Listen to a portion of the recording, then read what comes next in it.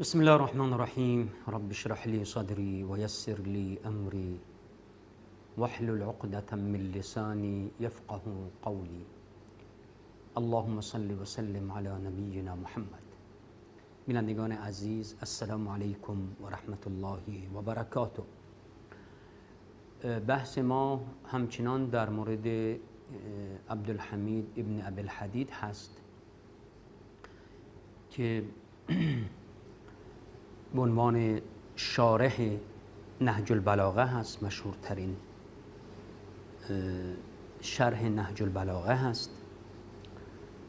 در دو برنامه گذشته گفتیم که اولا این شخص و بعد تاکید هم می‌کنیم. اولا که به اتفاق همه میگن معتزلی است و معتزله از جمله گروه های اهل سنت نیستن که کسی بگوید این معتزلی است و سنی است. نه معتزله هستند همون گونه که شیعه به عنوان یک فکر مستقلی است معتزله هم یک فکر مستقلی از اهل سنت هستند اگرچه امکان داره در بعضی مسائل وجه اشتراکی داشته باشند به معنای این نیست که اینها یکی هستند همان گونه که شیعه و اهل سنت خب هر دو معتقد به نبوت رسول الله هستند. هر دو معتقد به قرآن هستند. اما دو گروه دو فکر کاملا مستقل از همدیگر هستند. معتزله هم همین گونه هستند. پس کسی که معتزلی است سنی نیست. اگرچه در مسائل فقهی هم بخواهد تابع فلان مذهب و فلان امام باشد. مسائل فقهی مسئله نیست اعتباری نداره. الان صحبت از اعتقاد هست. اصل اینجاست. اصل صحبت از اعتقاد هست. ببین که این فرد معتزلی است. معتزله هم یک خطی مشی خاص خودشون دارن مستقل هستند فکری. کاری به اهل سنت ندارن در این قضیه. همون گونه که شیعه مستقل هست از اهل سنت خودش یک فکر کاملا مستقلی از اهل سنت هست. پس چرا می‌گوین شیعه؟ چرا میگن اهل سنت؟ چرا میگن معتزله؟ جالب هست که ببینیم و بدونیم که ابن ابی الحدید من تاکید می‌کنم و میگم که واقعا یک رافیزی تندرو بوده. حالا اشکال نداره که قبل از اینکه به یکی دیگر از مباحثی که دال بر رافیزیگری شدید ابن ابی الحدید داره به اضافه اینکه در قفس اتهام در اینکه حالا کسی را یا به عنوان اهل سنت معرفی می‌کنه یا اینکه به دروغ کتابی به اون نسبت می‌دهد. به دروغ کتابی را به اون نسبت می‌دهد.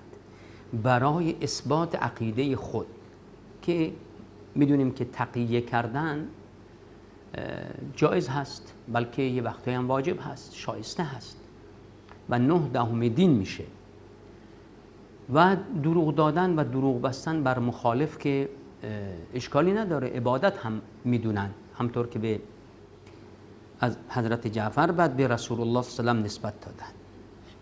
ببینیم که خانسالاری خانساری میگم خانسالاری مدار خانساری در مورد ابن ابی الحدید چی میگه؟ ما الان در سایت سبتین این سرچی زدیم. این صفحه لپتاپ داشته باشیم با هم دیگه. این سایت سبتین هست بالاخره. در اینجا میاره در مورد ابن ابی الحدید صحبت میکنه. میگه و فی روضات الجنات للسید خانساری. الشيخ الكامل الأديب المؤرخ عز الدين عبد الحميد ابن أبي الحسين محمد ابن محمد ابن الحسين ابن أبي الحديد المدائني الحكيم الأصولي المعتزلي دقت کنید. المعتزلی معتزله هست. معروف به ابن ابی الحدید صاحب نه شرح نهج البلاغه مشهور.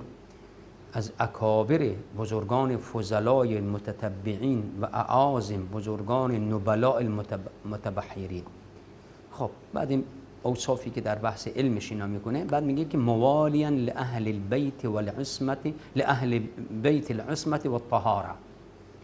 و این کان فی زی أهل السنت والجماعة.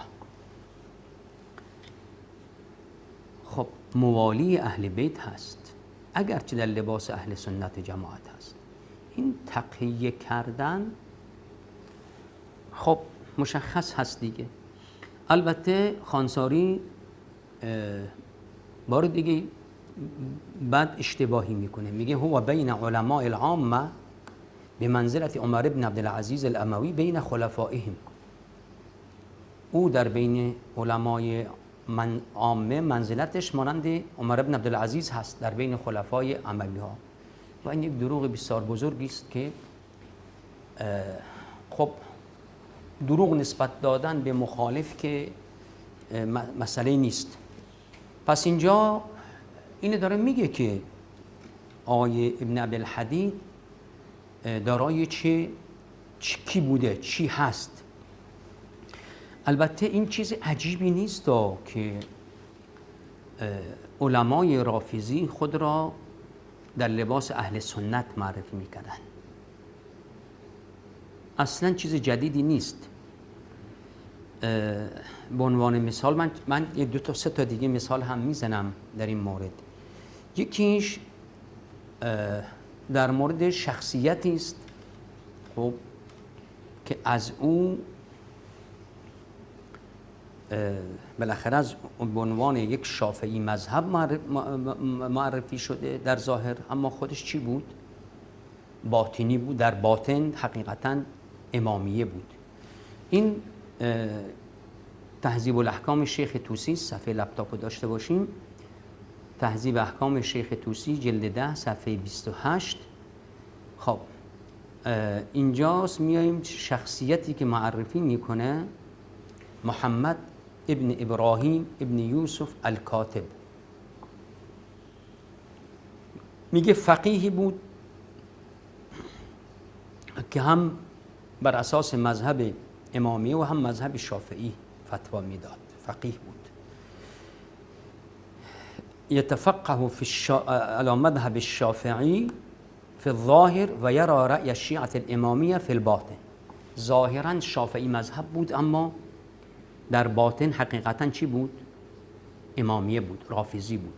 پس دقت کنید تقیه کردن یه چیزی جدیدی نیست که شما بگید که نه چرا این کار انجام بده؟ خب این دیگه جزء اعتقادات هست و معتقد هستن دیگه. این نمیشه که شما رو بگید آقا چرا خب؟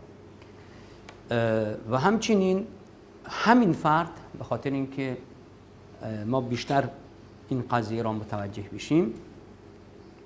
این دقت کنید بار دیگه محمد ابن ابراهیم ابن یوسف الکاتب صفحه لپتاپ یکن ابو الحسن قال احمد ابن عبدون هو ابو بكر الشافعي وكان على الظاهر يتفقه على مذهب الشافعي ويرى رأي الشيعة الإمامية في الباطن.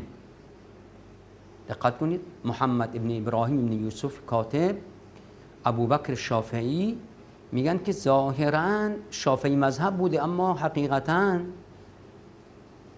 امامیه بوده. حالا حالا ادعاش چقدر چیز باشه. نجاشی چی میگه؟ کان یعرف بالشافعی. یعنی که شافعی مذهب بود کتابهایی داره. خب. پس این حالا چیز واقعا این ادعا صحیح باشد یا صحیح نباشد فقط یه چیزی نسبت یا می‌خوان که کسانی را به خودشون نسبت بدن خب حالا بحث دیگری است اما اینکه خودشونو اینگونه جا می‌زدند والله اعلم. یه شخص دیگری هم ما داریم که بار دیگر خود را به عنوان شیعه سنی معرفی می‌کرده اما شیعه بوده. میگن. این فرد هم صفحه تا من اینو بیارم با هم دیگه ببینیم. بله. بله. این در مورد یکی از بار دیگه شیعیان هست در اینجا میاره که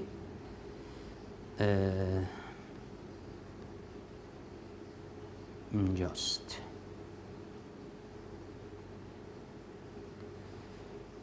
که این فرد میگه که در ظاهر اینجاست که. میگه که انه کان یظهر خلاف عقیدت الامامیه مداراتا و استصلاحا لرعیته. این اعتقاد امامیه داشت اما خلاف آن و اشکار آن را آشکار می‌کرد. بر خلاف عقاید امامیه صحبت می‌کرد مداراتا. و استصلاحا لرعیته. مدارات. فقط برای اینکه با مردمش بسازه. خب میگه که علمای محقق ما معتقد است که ناصر الحق کان تابعا فی دینی للامام جعفر الصادق. خب دقت کنید الان. پس این که اگر ما وقتی تعجب نکنید یه سری چیزهایی ابن ابی الحدید برخلاف عقاید روافض چیزی میگه. چیزی جدیدی نیست. چون یه هدف بلندتری داشته. هدف مهمتری داشته. پس تعجب نکنید این کارم نکنید در مورد یه شخصیت دیگری هم این شخصیت ها وارد ببینیم که دوستان تعجب نکنند. چون این از خود سایت های شیعه داره میگه. این داشته باشیم بار دیگه مکتبت شیعیه معجم رجال حدیث سید خویی جلد 5 صفحه 54 میگه جعفر ابن علی ابن عبدالله. شیخ منتجب الدین در فهرست خودش میگه از سید عماد الدین ابو القاسم جعفر ابن علی ابن عبدالله ابن احمد جعفری الدبیسی الزبیبی الزینبی نزیل دهستان فقیه فاضل و کان یتحنف. در ظاهر حنفی مذهب بود و بر اساس مذهب ابی حنیفه نعمار بن ثابت فتوا می‌داد تقیتا. فقیه ثقت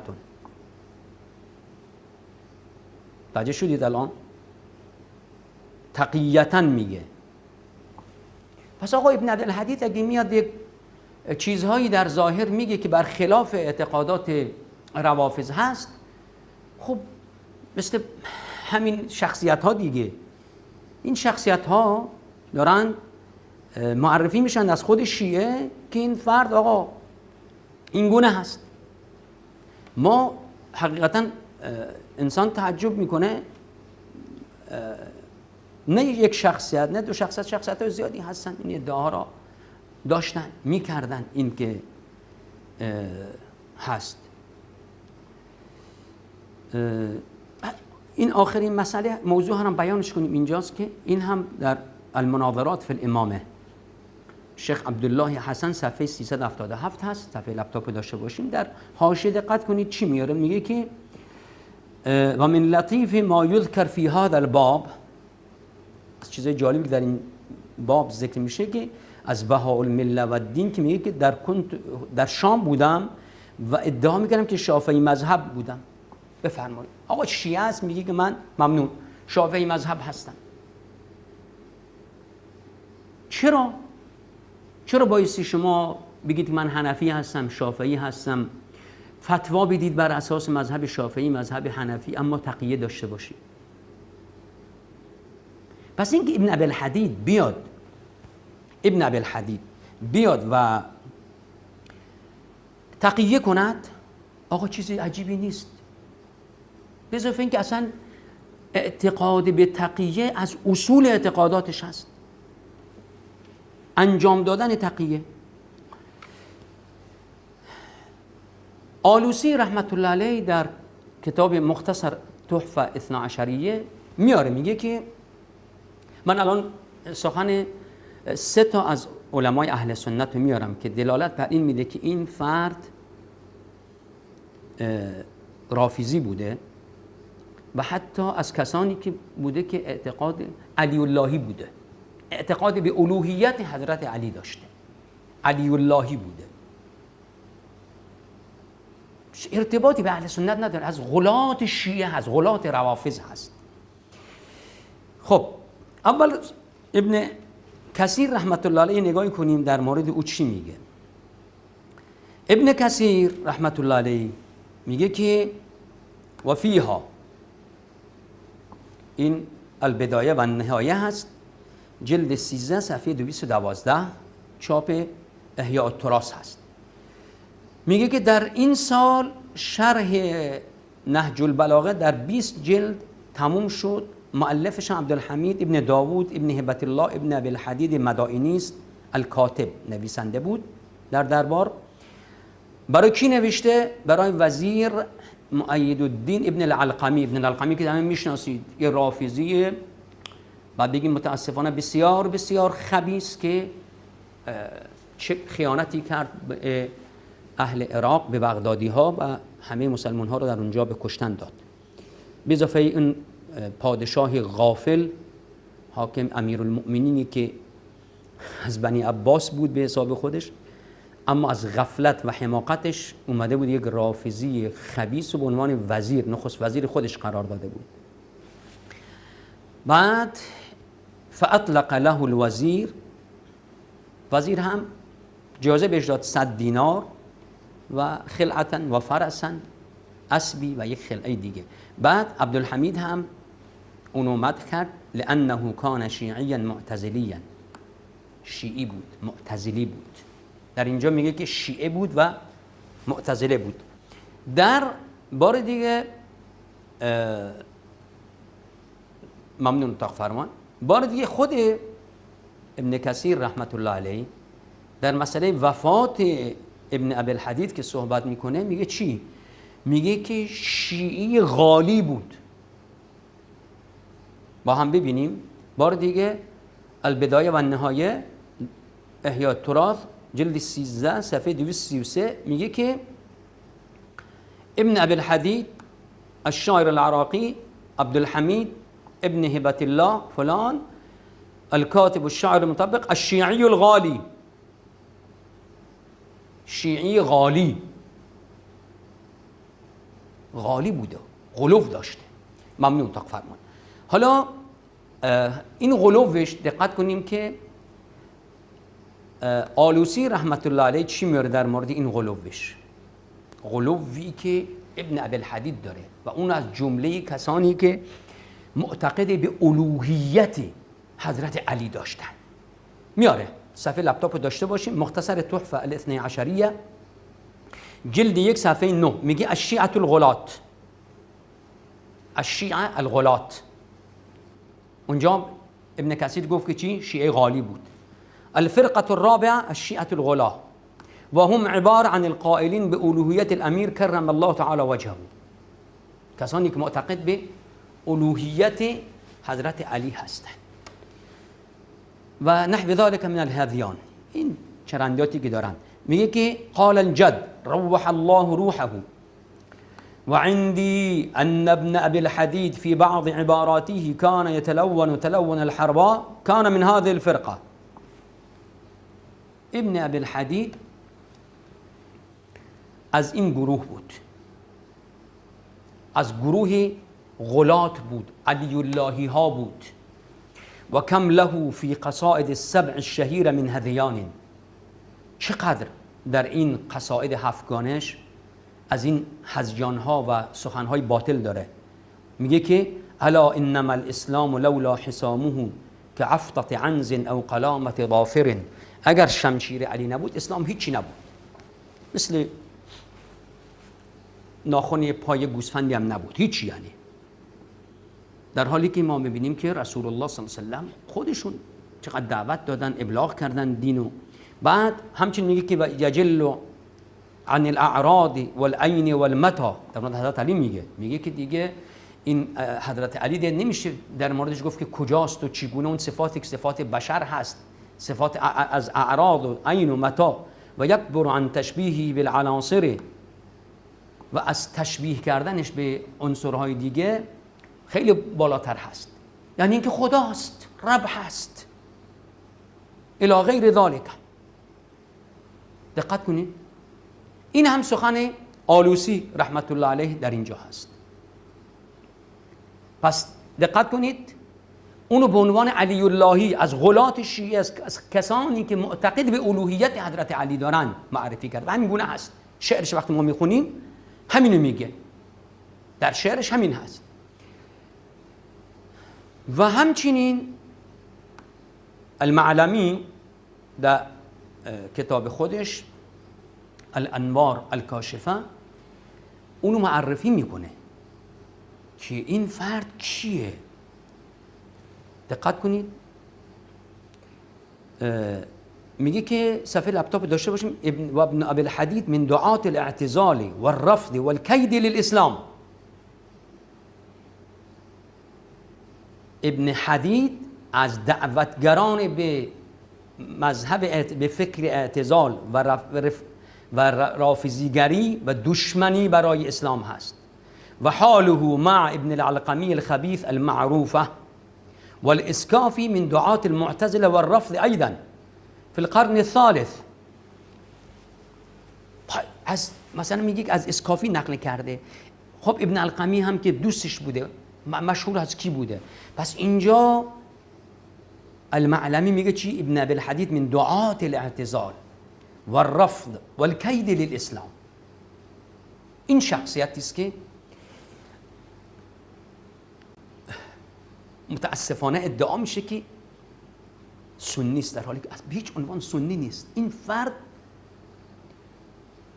در اصل همطور که آلوسی میگه علی اللهی بوده بعد اومده چی ادعا چی کرده؟ معتزلی بودن کرده. اب... ابن کثیر در مالش میگه چی؟ میگه که شیعی غالی. معلمی هم همین داره میگه. پس شخصیتی نیست که آقا اینو بخواد شما به اهل سنت نسبت بدید. حالا یه مسئله ای که هست ابن عبد الحدید در همین راستای رفسگرایی خودش و دروغ گفتن بیایید نگاه کنید. وقتی میاد مسئله سقیفه رو می‌خواد مطرح کنه. فدک رو مطرح کنه. خب چه صحبت چگونه میگه؟ چه شخصی معرفی می‌کنه؟ میگه که الان شما میگید این سنی هست. بعد میاد میگه که کتابی من نقل می‌کنم که این کتاب از یک عالمی است که در نزد اهل سنت از مکانت والایی برخوردار است. اولا ببینیم که واقعا از مکانت والایی اینطور که ابن ابی الحدید ادعا می کند برخوردار هست و یا آی بعد مسئله بعد این کتاب کسی از اهل سنت به او نسبت داده است یا نه؟ کسی گفتن که این کتاب مال اوست یا اینکه این ادعای رافیزی ابن ابی الحدید و یا اربلیست. این کتاب حالا من در ابتدا اینو بخونیم. میگه چی؟ ذکر ما ورده من السیر والأخبار فی أمر فدک میگه در مورد فدک میخواد را صحبت کنیم. میگه که در سه فصل صحبت میکنیم. خب اینجا بحثش این هست. بریم مورد بحث خودمون. صفحه 210 هست میگه که فصل الفصل الأول فيما ورد من الأخبار والسير المنقولة من أفواه أهل الحديث وكتبهم. میگه که از اهل حدیث نقل می‌کنه از کتاب ها از زبانشون و از کتاباشون نه از کتاب های شیعه و رجالشان. لاننا مشترطون على انفسنا الا نحفل بذلك. چرا ما می‌خوایم که اصلا اهمیت نمیدیم به گفتار شیعه؟ این دیگه برای خود شیرین کردنه و اینکه می‌خواد مقدمه می‌سازه زمینه سازی می‌کنه که هر دروغی هر چرندیاتی که میده میگه که مال اهل سنت است. من گفتم من از شیعه نقل نمی‌کنم. این دقت کنید استاد در تقیه بعد میگه که و جمیع ما نوریده فی هذا الفصل من کتاب ابی بکر احمد بن عبد العزیز الجوهری فی السقیفه و فدک. همه این چیزی که ما اینجا نقل می‌کنیم از کتاب سقیفه و فدک هست. مؤلفش هم ابی بکر احمد بن عبد العزیز جوهری است. خب مگه نگفتی من می‌خوام از افوای اهل الحدیث و کتبهم بیارم؟ خب این یه فرد هست. بعد میگه که و ابوبکر جوهری هذا عالم محدث كثير الأدب ثقة ورع أثنى عليه المحدثون و رووا عنه مصنفاتی. حالا دقت کنید دروغ هایی که این رافیزی داره میگه ابن عبی الحدید رافیزی معتزلی. میگه که محدثی است. کثیر الأدب. این قسمتش میشه. ثقتون وارعون دروغ میگی. دروغ میگوید که میگه ثقة هست. چرا؟ اصلا زیرا که ابوبکر جوهری مجهول الحال هست. میدون مجهول الحال یعنی چی؟ ما یه مجهول, مجهول الحال داریم و مجهول العین یعنی ناشناخته. این ناشناخته دو دسته هستن. یکی که اصلا شخصیتی اصلا شناخته شده نیست. کی هست؟ وجود داره وجود نداره. یه اسمی هست. اونطور که شما اینو در کتاب های روایی شیعه زیاد می‌بینید. شخصیت هایی که مجهول هستن وجود حقیقی ندارن. این بهش میگن مجهول العین. یک مجهول الحال داریم که شخصیتی هست وجود داره اما در مورد او جرح و تعدیلی وارد نشده. نگفتن خوب هست نگفتن بد هست. پس این که اینجا میگه ثقه هست داره دروغ میگه. با جرأت تمام با یقین تمام میگم که ابن عبی الحدید در اینجا داره دروغ می‌گوید. چون رافیزیست. می‌خواد دروغ خودش رو الان اون اعتقاداتی که خودش داره وارد کند همیشه میاد اصل و سم با هم دیگه. سم می‌ذاره لای اصل تحویل خواننده می‌دهد. بعد میگه اثنا علیه المحدثون. محدثون اهل حدیث از او به خوبی یاد کردن و رووا عنه مصنفاته. و تعلیفات او را نقل کردن. حالا ببینیم این تعلیفاتش چی هست؟ کجا بر او مدحش کردن؟ یا اینکه فقط خودت و هم فکران خودت ای ابن ابل حدید خب. ممنون میشم تا فرمان. من الان می‌خوام این شخصیت رو اولا معرفی کنیم. ببینیم که اولا ببینیم که ببینیم از اهل سنت شروع کنیم خب؟ که اهل سنت وقتی این شخص رو معرفی کردند اول اینجا این کتاب کتاب خطیب بغدادی تاریخ بغداد هست. صفحه لپتاپ داشته باشین. میگه چی؟ میگه احمد ابن محمد ابن عبدالله ابو بکر الجوهری حدث عن احمد ابن محمد ابن یزید الوراق محمد ابن یوسف. خب استادانش میگه؟ و شاگردانش هم ابو عبیدالله المرزبانی ابن الثلاج ابن السلط المجبر. خب. کجا گفت الان سقه هست چیزی؟ در اینجا میگه که سقه هست. مصنفاتش چیزی میاره؟ از تعلیفاتش چیزی ذکر می‌کند نه ابن حجر نه ذهبی هیچ کدام. حتی ذکری از او نمی‌کنن. کتابی از او هم نمیارن.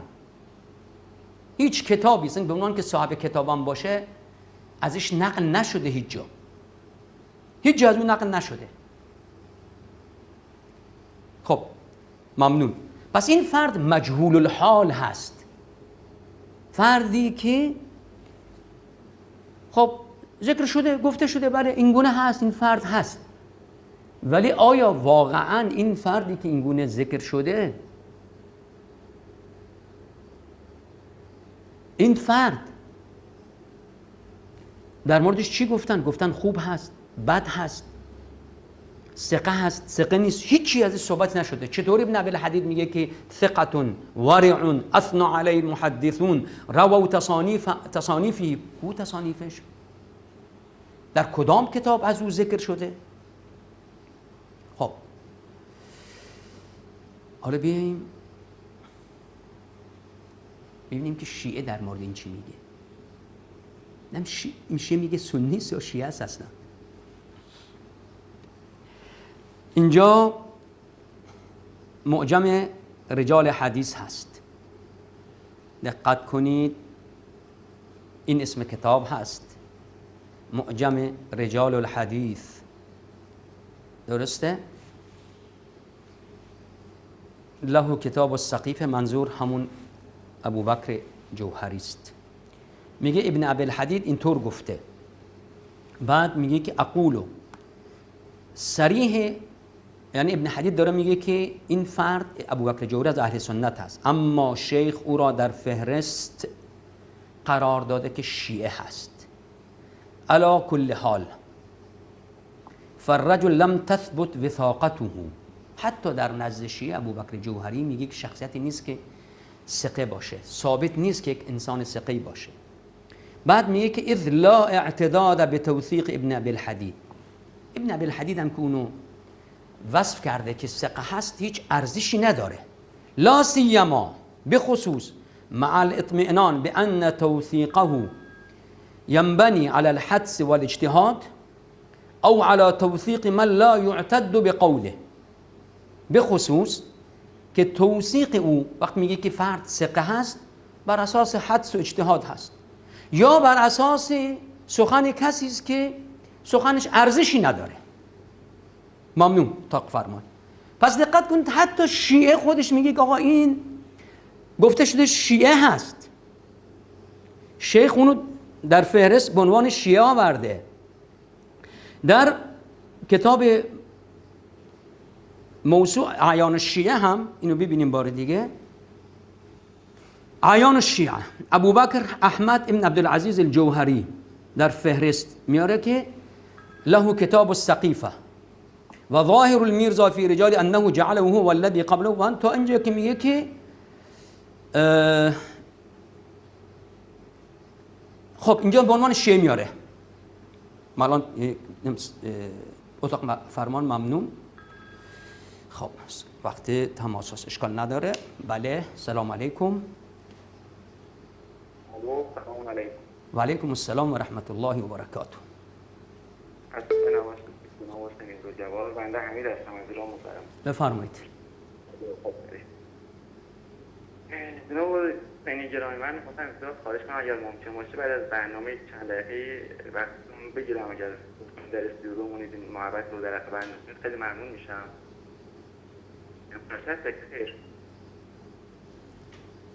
بله؟ از برای برنامه چند دقیقه وقتتون رو بگیرم امروز نه متاسفانه. مشغول هستم. برنامه دارم بعد. الان بفرمایید. برای فرصت مقرر کن چون مطلب ما اما جناب حسینی گرامی در مورد این بحث امروزتون چند روز دارید این بحث رو مطرح می‌کنید بحث ابن حدید و اینکه ایشون آیا شیعه بوده یا اهل سنت چون ممکنه بینندگان عزیز در جریان نباشن که قضیه از کجا شروع شد من خیلی خلاصه 20 ثانیه عرض جناب آقای حسینی عزیز برادر از ما روایتی رو بردن از کتاب شیعه. گفتن این روایت در کتاب شریف نهج البلاغه اومده در مورد امیر المؤمنین علیه السلام. و بنده باشون تماس گرفتم و عرض کردم که نه. این روایتی در نهج البلاغه وجود نداره. این در شرح نهج البلاغه جناب آقای ابن ابوالحدید معتزلی. آقای حسینی گرامی از اون روز دارن سعی می‌کنن که بفهمن که ابن عبدالحدید معتزلی بوده که خب ما هم قبول داریم و البته ایشون در واقع شیعه بوده شیعه رافضی و منافق بود و نفاق به خرج داده. حالا من می‌خواستم ابتدا اولین سوال شما گفتم جناب آقای حسینی. اصلا شما هدفتون از اینکه می‌خواین ایشون رو شیعه معرفی کنید چی هست؟ تا وارد این بحث بشیم که اصلا ایشون شیعه بوده یا نبوده. ولی اصلا هدف شما از اینکه ایشون می‌خواید شیعه معرفی کنید. به چه نتیجه می‌خواید برسید؟ این رو میشه خلاصه بفرمایید. یعنی بله بله. الان یعنی که شما درسته. شما الان یک شخصیتی است که شخصیتی است که حقیقتا رافیزی است. به کلام او استدلال می‌کنه به اینکه اهل سنت هست. و سخنان او را به عنوان یک از سخنان علمای اهل سنت معرفی می‌کنید.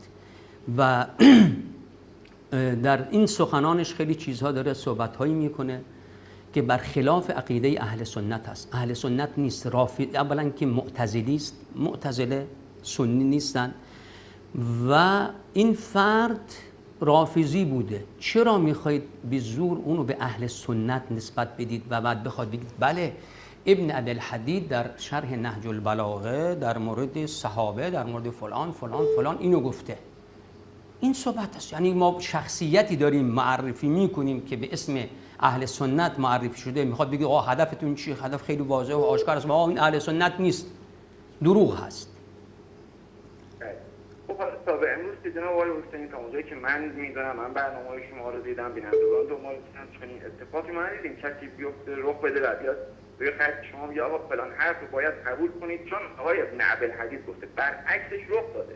شما مطالب زیادی رو از جناب آقای ابن عبدالحدید میارید. مثلا این قضیه روایت امیرالمومنین میگید ایشون شیعه بوده. حالا قبلا نمی‌گفته شیعه بوده. از روزی که مشخص اون روایت در نهج البلاغه نیست. حالا شما سعی دارید که ایشون ما که همیشه گفتیم که شیعه معتزلی است اتفاق نیفتاد. حالا شما پس نوعی می‌خواید مثلا پیشگیری کنید. اما سوال اینجا از آقای حسینی عزیز.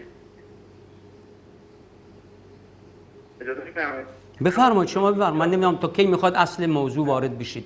شما می‌خواید که آقا چرا من برنامه گذاشتم؟ برنامه گذاشتیم در مورد در حدیث می‌خوام صحبت کنیم. اب لب موضوع چیزی دارید وارد شید آقا حمید. خواهش می‌کنم بیراه نروید. بله مطلب اینجاست مطلب اینجاست که ایشون حتی اگر شما بر فرض محال ثابت کردید که شیعه هم باشه بر فرض محال میگن فرض محال نه با اون روایتی که ایشون و شما خوندید این مورد قبول میشه. روایتی که اصلا سند صحیح نداره. شما مستمسکتون این بود که این در کتاب نهج اونجا که سند نمی‌خواد؟ حالا فرض کنیم بر فرض محال ابن عبدالحدید هم مثلا شیعه رافضی تندرو حالا بخواد شما شیعه منافق تندرو دروغگو آیا این روایت ایشون آورده سند ضعیف هست در اون مجاهیر هستن. انقطاع وجود داره مرتبط است اون روایت صحیح میشه؟ آیا اون روایت شما بهش کدام روایت شما منظورتونه؟ جانم؟ کدام روایت منظورتونه؟ همون روایت که باعث شد این بحث شروع بشه. اصل کل نهج البلاغه که شما اینقدر مقدس میشمارید هم هیچ سندی نداره. سندی داره شما برای نهج البلاغه. چهار قرن بعد نوشته شده. هیچ سندی نداره. طرف اومده جمع کرده.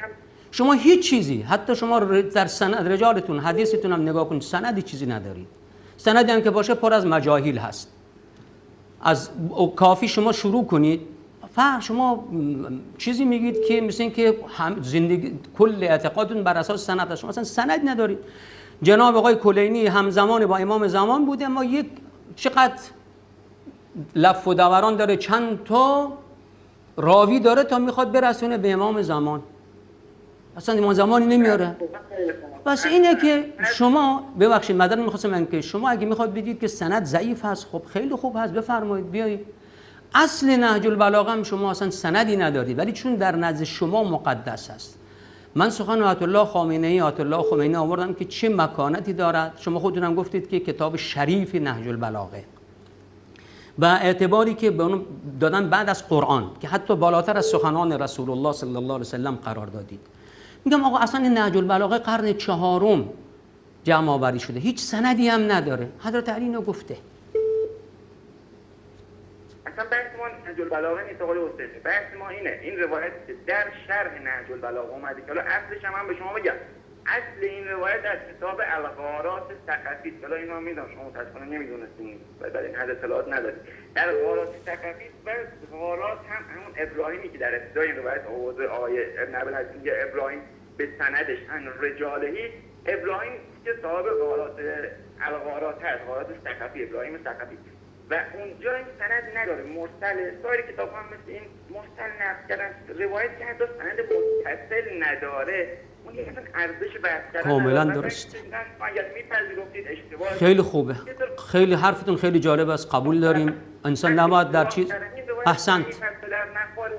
احسنت. شما می‌تونید برای نهج البلاغه یک سند درستی آقای شریف مرتضی شریف رضی بیاره به حضرت علی رضی الله عنه.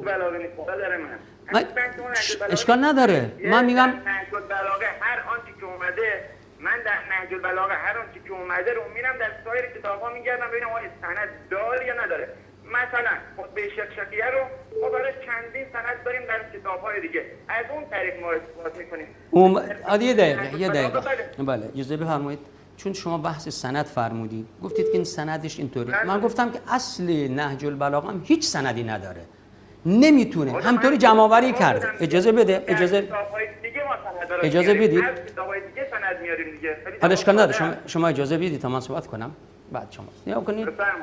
مسئله این نیست که شما در کتاب های دیگه سند آوردن همون روایت های انسان های مجهول ضعیف آوردن که دیگه سند نیست. چقدر از این روایت ها هست که هیچ سند داره اما سند ساختگی است هیچ چیزی نداره. اما چطوری یک کتاب شما سربسته میایید؟ آقای آیت الله خامنه ای آیت الله خمینی اونو به عنوان کتاب بعد از قرآن مرد. من دو تا چهره ای الان دارم میگم به عنوان کتابی که بعد از قرآن هست. بله بله. خب کتاب بعد از قرآن تو رو دی میگردی. اجازه بدید حالا شما دی میگردید. که ببینم سند دیگه داره. اگه سند نداشته باشه قبول نمی‌کنی. کتاب سربسته قبول داره به عنوان که التالی بعد القرآن. تالی قرآن هست بعد از قرآن هست. شما چطوری می‌خواد بگید که من میگردم؟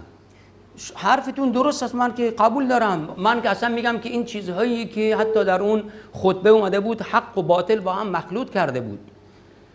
در این خطبه ای که به حضرت علی گفته که بعد از مقتل محمدی قمی بکر رحمت الله علیه حضرت علی فرمودن من قبول دارم. درش حق و باطل مخلوط شده. حق و باطل. چیزهایی است که واقعا حقیقت داره. این گونه بوده حضرت علی. بار دیگه درش تحریف های در این حق شده یه چیزهایی که اصلا باطل هست در اینجا هم وارد شده. حالا بفرمایید بحث امروز ما این من امروز خوندم و این شخصیت دیروز پریروز من صحبت کردم. چیزی در مورد این شخصیت دارید؟ بفرمایید. هنوز وارد بحث خودمون نشدیم. هنوز شما در حاشیه قرار دادید می‌دید.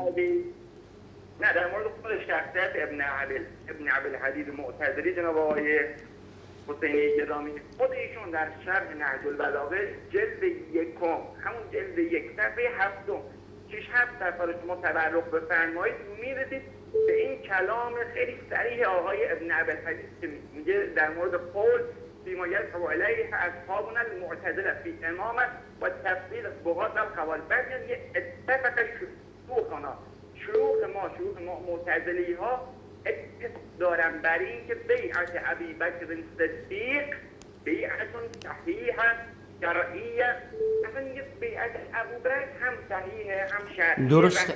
من که من که دارم میگم طرف آقا تقیه کرده. من دارم چی بهت میگم؟ من معتقد هستم شخص داره تقیتا دروغ داره میگه در ظاهر میگه. شما بعد بیاید بخونید داخل چه اهانت های همین. الان که بحثی می‌خواستم از کتاب سقیفه فدکو فرمودید می‌خوام جواب بدم. بعد اینجا آقای حسینی. از نظر همه بینندگانی که دارن این برنامه رو می‌بینن. بینندگان عزیز من نمیگم اصلا رافضی که آقای حسینی میگن رافضی که می‌دونید اون شاید خیلی رو که به ابابکر عمر صد می‌کردن پشت می‌دادن لعن می‌کردن که خود آقایون در شبکه هاشون میگن ما شیعه رافضی رو لعنت می‌کنیم با افتخار. آقای خدمتی میگه فتوا میدم لعنت کنید شیعه رافضی رو. چون اونها لعن می‌کنن خلفا رو. آقای حسینی عزیز ما میگه این آقای میگه ابی بکر صدیق هست. ابو بکر میگه صدیق هست ترزی می‌کنه و میگه بیعتش صحیح هم هست شرعی هم هست خب شخصی رو شما بیشتر شعار می‌دید. شما تو بحث بحث برید. آقا حمید. آقا حمید. یا شما برید تو بحث یا شعار ندید تو بحثتون. آقا حمید. یه دقیقه اجازه بدید. من یه چیز بهتون بگم. یه خواهش ازتون بکنم. بحث می‌کنید شعار ندید خب؟ شعار ندید. بحثمون بکنیم. من گفتم آقا این این رافیزی است تقیه کرده. شما بیاد خلافش ثابت کنید. بعد که میاد داره نقل می‌کنه معتقد هست که فقط تقیه نفاق هست. تقیه نفاق هست. صفات منافقین هست. نه الان بحث دیگر هست. کسی که معتقد هست. نه نه نه. آقا همین این فرق می‌کنه. کسی که بیاد جانش در خطر هست ظاهر یه چیزی بگه به زبان این که خود طول زندگیش نه اجازه بده. من اینجا الان براتون دو تا سه تا مثالم آوردم از علمای خودتون که در ظاهر ادعای شافعی و حنبلی و حنفی حنفی می‌کردن و باطنا این نفاقی که داشتن می‌گفتن که اینها امامیه بودن. اینو بهش میگن نفاق. این تقیه این نفاق هست برای چی بیاد خودشو به عنوان عالم شافعی معرفی کنه؟ برای چی به عنوان عالم حنفی معرفی کنه؟ ابن عبدالحدید آیا جانش در خطر بود یا نبود؟ نه برای چی در خطر باشه؟ در خطر بود. نه آیا جان ابن در خطر بود. به من این که به من ربط نداره که در خطر بودم اما این از سیاستاتون است. نه. من من که نه آقا حمید. شما کسی که وزیر مقتدر عباسیانه چجوری جانش در خطر که کنه؟ خب اینجا این علمای شیعتون که ادعای حنفی و شافعی می‌کردن جانشون در خطر بوده؟ یا اینکه واقعا یک بیماری است که در وجوده نه نه. درسته. همینه منم همینی میگم. شما دارید در میرید نه. شما دارید منحرف میشید. بار میگه که فلان رو اشکال نداره. من من گفتم که اجازه بدید پس یک جمله تمومش کس کنید. نه. نه یک جمله جواب این فرمایش اخیر شما که میگید سایر علماتون رو چی جواب می‌دید؟ چون مثلا گفتن ما حنبلیم شافعی من میگم هر کسی آقای حسینی هر کسی می‌خواد باشه جانش در خطر نباشه. بلا دلیل شرعی بیاد همچین کاری کنه منافق است. و سلام تمام. آقای ابن عبدالحدید جانش در خطر بوده یا نه؟ یه سر ابن توی بحثی بله. اصلا-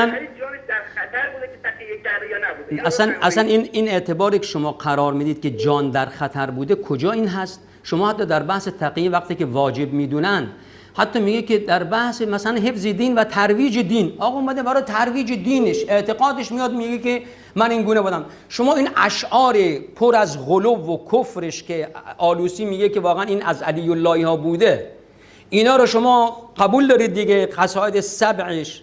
دیگه دیگه چی مونده؟ که شما باید بگید که بیاد. بعد میاد بغداد میاد برای تو نظامیه درس بده مقرب بشه ادعای اینو می‌کنه. چه اشکال داره؟ خیلی ظاهر هست. مگه حتما باید جانش در خطر باشه؟ میاد تبلیغ اون فکر مسموم خودشون می‌کنه. این که برای شما عبادت هست نه دهم دین قرار می‌دید یک عبادت خیلی بالایی عبادت هست. بعد از این لباس وارد میشید تهمت می‌زنید اتهام وارد می‌کنید ایجاد شک و شبهه می‌کنید در بین اهل سنت نسبت به بزرگان نسبت به صحابه. من امروز می‌خواستم اینو بخونم چیزی که به ابوبکر جوا- جواهری نسبت داده. ببینیم که واقعا این اجازه بده اجازه بدید اجازه بدید اجازه بدید. تا من میگم که اجازه بدید. چشم چشم. اجازه وقت بهتون میدم. من می‌خواست این بهتون میگم که این گونه وقتی وارد می‌شود برای ایجاد شک و شبهه و سمپراکنی در بین اهل سنت چه اشکال داره مگه؟ طرف که دیگه داره از عقاید سبعش داره داد می‌زنه که علی اللهی است. رافضی است. وقتی که دارن میگن که آقا این رافضی غالی نیست. خب این هست. میاد چهره عوض کردن که خیلی واضح و آشکار هست دیگه. چهره ها پست ها همیشه داره رد و بدل می شود یکی از علماتون می‌بینید که اونایی که برتر هم بودن شناخته شده بودن شیعه بودن کسی کار بهشون نداشت. هیچ کدام کاری بهشون نداشتن. یکی میاد یکی میاد بعد برعکس یه لباس عوض می‌کنن خود را به عنوان سنی معرفی می‌کنن برای اون برنامه هایی که هست. این پست ها عوض کردن. یکی خود را واقعا شیعه معرفی کردن یکی میاد در ظاهر خود را سنی معرفی می‌کنه. برنامه هایی که دیگه داشتید. الان هم دقت کنید چقدر از این مناظراتی که درست می‌کنید و میگید که بله فلانی این کار بود این شخصیت این گونه بود بحث کردیم در فلان کتاب با فلانی نامه نوشتیم. همه اینها نقش است که دارید بازی می‌کنید برای اینکه از این ضعفی که واقعا در فکر امامیه هست ضعف بسیار شدید بدین وسیله این گونه می‌خوان خودشونو کامل کنند بفرمایید. حالا بفرمایید. بفرمایید دو سه دقیقه لطفا چون تماسا زیاده. بله سه چهار نکته رو فرمودید. سه چهار نکته رو من کمتر از دو دقیقه هستم. بفرمایید. من این از کجا میادم میگم اگر کسی جانش در خطر بود می‌تونه تحقیق کنه و اینو من از کجا آوردم؟ برادر اعظم از آیات قرآن آیه 106 سوره نحل آیه 28 سوره آل عمران آیه 28 سوره غافر خداوند در قرآن فرموده فتوای من نیست کلام الله ذوالجلال این چنین سوری واقعا عجیبه است قرآن کریم است این اه، جواز تحقیق رو در این شرایط صادر کرده. جالبه. مرحبا به ناصر آقای حسینی. واقعا مرحبا به ناصر. خودتون میفرمایید بله کسان دیگری بودن معروفتر از اینها. کسی هم کارشون نداشته. بزرگان شیعه بودن. بعد نشون میده هم ابن عبدالحدید هم به این دلیلی که شما گفتید هم به دلیل اینکه رفاقت صمیمی داشته به شما با ابن القمی اون وزیر مقتدر آقایون عباسی آخرین وزیری که اشکارک بود جانش در خطر نبوده. اگر واقعا از خودش اهل سنت جان زده می‌خواسته مردم رو فریب بده از نظر ما شیعه این نفاق است. و خب این که میفرمایید در اشعار مطالی و آقای عزیز ازم جناب آقای حسینی من یاد فرمایش امام شافعی میفتم چون آقای ابن عبدالحدید رو هم شما می‌دونید ابن خلکان و هم علمای شیعه چون اتوارد نجاشی گفتن ایشون شافعی مذهب بوده. هم ابن خلکان اهل سنت نجاشی دیگر علماشه من یاد فرمایش آقای شافعی ما شافعی مثلا که میگه آقا لطفا بفرمایید اینقدر شعار ندید. شعار ندید. دقت کنید شما خیلی شعار می‌دید. آقا حمید آقا حمید یه دقیقه یه توقف یه توقف. صداتون کسی نمیشنوه. آقا حمید آقا حمید. ازتون خواهش می‌کنم شعار ندید. شعار ندید. قبلا هم گفتم خواهش می‌کنم شعار ندید. برید لب موضوع را مطرح کنید. آقا خواهش می‌کنم لب موضوع.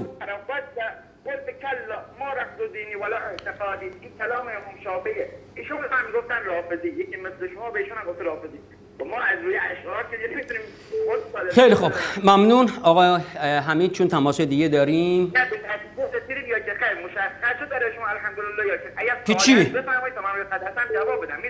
که چی؟ که چی؟ که چی مشخص شد؟ جوابایی که به شما دادم آیا ردی بر اونها دارید شما نه اصلا چیزی نگفتید.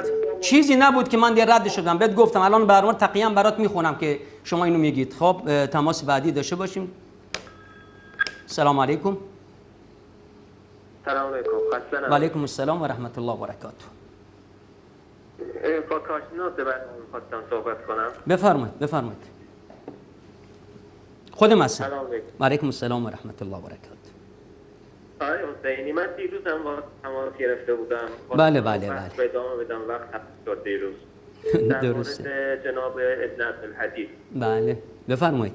این آقای ابن عبدالحدید ما دلایل مختلفی داریم که ایشون از اهل سنت هست. اولین دلیل به نظر بنده مهمترین دلیل اینه که ایشون تو شرح نحصر بلاغه خودشون جلد یک صفحه هفت استراحت میگه که ان بیعت ابی بکر صدیق بیعتون صحیحتون شرعیه. ایشون اعتقادش اینه که بیعت با ابو بکر صدیق بیعت صحیحی بوده شرعی بوده. هرچند که هیچ نصی نداریم تا امامت ایشون خلافت ایشون با اجماع ثابته. این دقیقا اعتقاد اهل سنته و دقیقا برعکس اعتقاد شیعیان هسته. این یک دلیل. ادله دیگری هم ما در این مسئله داریم. از جمله این که بسیاری از بزرگان اهل سنت میشه یه, یه توقفی داشته باشیم در همینجا در مورد بیعت ابی بکر رضی الله عنه.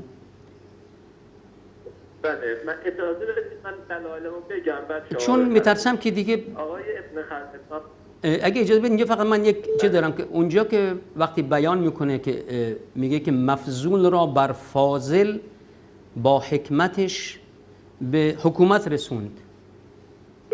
درسته؟ این هم بله. درسته. دقیقا برخلاف اعتقاد شیعه هست. شیعه حضرت علی رو خب. افضل می‌دونه پس نه. درسته. پس از نظر ابن عبدالحدید الان حضرت علی افضل هست. این اعتقاد اهل سنت نیست. اعتقاد اهل سنت اینه که حضرت ابوبکر افضل هست. اعتقاد اهل سنت اهل سنت قاطبتا اعتقاد دارن که اول ابوبکر هست بعد عمر بعد عثمان بعد علی رضی الله عن الجمیع. کسی که میاد میگه که مفضول بر فاضل خب این خب مشکل این چطوری می‌خواد بگید که شما این از اهل سنت هست؟ بار دیگه. این اینو حداقل چیزی که مثلا قرار می‌دادن اینو مثلا شیعیانی به کی می‌گفتن شیعیان؟ شیعیانی که مثلا حضرت علی رو بر حضرت عثمان برتری می‌دادن. اما اینکه کسی معتقد باشه که علی افضل هست بر باقی خلفا چی میگن علما؟ میگن که این خودش اهانتی است به مهاجرین و انصار که مهاجرین و انصار تشخیص ندادن نفهمیدن اومدن مفضول را حکومت دادن فاضل و افضل رو بر کنار گذاشتن. میگه اصلا اهانت هست توهین هست به این جمع بزرگی از صحابه رسول الله صلی الله علیه وسلم که هیچ کدام نفهمیدن تشخیص ندادن. بعد افراد دیگه اومدن گفتن که نه این علی افضل بود ابوبکر مفضول بود ولی خب حالا دیگه شده. این عقیده اهل سنت نیست. عقیده اهل سنت این است که حضرت ابوبکر افضل الامه بعد رسول الله هست بفرمایید بفرمایید. ببینید اعتقادات شیعه کاملا روشنه. شما بفرمایید کجا یک کتاب های ابن الحدیث ایشون مثلا میگه که امامت یا خلافت یک منصب الهی هست؟ اعتقاد شیعه اینه که امامت یک منصب الهیه. کاملا روشنه. این یک که هیچ جایی ابن الحدیث چنین حرفی نزده. این کتاب اونجا که نقل می‌کنم می‌خواستم بخونم از سقیفه و الفدک اینو خوندید شما؟ این قسمت این مبحثش رو خوندید؟ بله. چی نقل می‌کنه؟ من الان می‌خواستم شروع کنم این بحث. امروزمون در مورد معرفی جواهری بود و چیزی که اون نسبت داده بود گفته بود که جواهری من از کتابش سقیفه و فدک نقل می‌کنم. این قسمت رو خوندید که ابن ابی الحدید من میگم که واقعا معتزلی رافضی بوده میاد سم و در به مردم میده همراه با اصل همراه اصل که اینجا سخن حضرت فاطمه وقتی میاره تکفیر مهاجرین و انصار می‌کنه تکفیر مهاجرین می‌کنه بعد تکفیر انصار می‌کنه. کجاش این اعتقاد اهل سنت هست؟ اهل خب آقای شما اجازه نمی‌دید حرف بفرمایید. بشه. نشون شما اینو فرمودید خب. اجازه بده حرف من تموم بشه بعد شما بفرمایید. استفاده می‌کنید حالا بفرمایید. بفرمایید. آقای حسینی. بفرمایید بفرمایید. من از کنم این تدخل من تموم بشه. آقای ابن خلکان میگه که جناب ابن ابن حدید اشتغل به فقه الامام شافعی. شافعی مذهب بوده و به فقه امام شافعی مشتغل بوده. همچنین دلایل دیگری که ما می‌تونیم بیاریم فراوانه مثل آقای زرکلی در اعلامش کتاب اعلامش ایشون هم همین جش شافعی مذهبه. من از شما سوال می‌کنم. فقه شافعی از فقه هایی که مورد قبول شیعه است یعنی فقه شیعی محسوب میشه یا فقه اهل سنته. کاملا اهل سنت. دیگری هم که عرض می‌کنم شما در مورد بیننده قبلی که بود مطالبی در مورد نحس و بلاغه فرمودید ببینید آقای حسینی شما حتما باید دیده باشید کتاب نحس و بلاغه اسنادش جمعآوری شده و به طرق مختلف هم چاپ شده. اگر قرار باشه اجازه بده من یه جمله بگم پایان حرفم تمام بشه. اگر قرار باشه احادیثی یک احادیث یک مذهبی زیر سوال بره قطعا این احادیث اهل سنته. چون احادیث اهل سنت هست که دوره تدوین حدیث رو دارن. در اهل سنت یه مدت طولانی حدود یک قرن حدیث اجازه نوشتنش رو ندادن اجازه کتابتش رو ندادن. از همین روز که جناب آقای محمود ابو ریه از پژوهشگران مصری اهل سنت است کتابش معروف چاپ شده در کشورهای مختلف بینندگان عزیز رو دعوت می‌کنم این کتاب رو حتما مطالعه اصلا. دعوت هم هیچ کس نمی کنیم کتابی است یک فرد منحرفی است. من اینو فقط تو حرفتون باید مجبورم. کتاب کاملا فرد منحرفی است. همه علما ردش دادن. نه چون اینجا دیگه شما سوء استفاده نکن. سوء استفاده کردین. من سکوت کردم. نه نه نه من سکوت کردم ولی وقتی میاد شخصیتی که اصلا منحرف هست علما همه ردش دادن. خیلی حرفای نادرست داره. شما میاد دعوت می‌دید که مردم بخونن. اینجا من این اجازه به شما نمیدم و از. من باهاتون من خداحافظی می‌کنم. ببخشید خداحافظ شما. معذرت می‌خوام چون وقت ما دیگه تموم هست یه دقیقه بیشتر نداریم. می‌خوام صحبتی که شما فرمودید هم جواب میدم. ممنون میشم. خداحافظ شما. اما که بحث تقیه هست برادر عزیز. من نمی‌دونم شما چرا این تقیه کردن و براتون خیلی عجیب هست. انکار می‌کنید. خب چیزی اه، قومی چی میگه؟ میگه که التقیه واجبتون. من ترکها کان به منزل من ترک الصلات. کجا این شرط رو گذاشته که حتما باید ترس جام باشه؟ میگه تقیه واجب هست. کسی که اونو ترک کنه همانند کسی است که نماز رو ترک کرده. میشه نماز رو ترک کنید؟ و جالب هست که حتی وقتی که می‌بینیم که کلینی از ابو عبدالله حضرت جعفر نقل می‌کنه یا سلیمان انکم علی دین من کتمه اعزه الله و من اضا- اضاعه اذله الله. شما بر دینی هستید که اگه کتمانش کنید خدا شما رو عزت میده. اگه اونو پخش کردید منتشر کردید دینتو به مردم رسوندید خدا شما رو خار و ذلیل می‌کنه. التقیه من دینی و دینی و دین آبایی ولا ایمان لمن لا تقیت له. تقیه دین من هست. دین آبای من هست. این دروغایی که نسبت داده شده. نگید که تقیه برای حفظ جان است. اصلی در کل دین شما نه دهم دین و وقتی تقیه قرار می‌دید قومی میگه که چی؟ التقیه واجبتون. لا یجوز رفعها الى ان یخرج القائم. فمن ترکها قبل خروجه فقد خرج على دین الله. تقیه واجب هست. تا زمانی که مهدی ظهور کند. هر کس که قبل از خروج مهدی تقیه را ترک کند بر دین خدا خروج کرده. و علی دین الامامیه. بر دین خدا نه فقط میگه امامیه میگه بر دین خدا هم. و بعد در دین امامیه و خالف الله و رسوله و الائمه با خدا و پیامبر ائمه مخالفت کرده. در تفسیر قمی می‌خونیم که از امام صادق سوال میشه ان اکرمکم عند الله اتقاکم میگه که اعلمکم بالتقیه هر که بیشتر تقیه کند. لولا التقیه ما عرف ولینا من عدونا. اگر تقیه نبود دوست ما از دشمن ما شناخته نمی‌شد. یغفر الله للمؤمن كل ذنب و منه في الدنيا والآخره ما خلا ذنبین خدا هر گناهی میبخشه مگر دو تا گناه. ترک التقیه و ترک حقوق الاخوان. اگه تقیه را ترک کردی خدا اینو نمیبخشه. و همچنین حقوق برادران هم یعنی منظور همون اعتقادات خودش کسانی که معتقد خود هستند خب بس اینجا اصلا بحث این نیست که شما فقط به عنوان میگید که ترس جان باشه. نه تقیه شما به عنوان یکی از اصول اعتقادی دارید که